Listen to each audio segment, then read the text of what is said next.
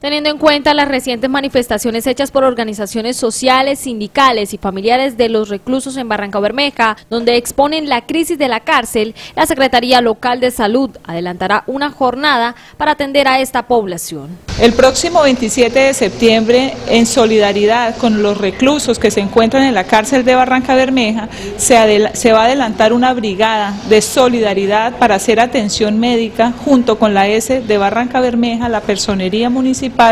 y quiero hacer una invitación extensiva a todos los profesionales de la salud que de alguna manera se quieran vincular, quieran donar una hora de su servicio, sea psicólogo, trabajador social, odontólogo, médico,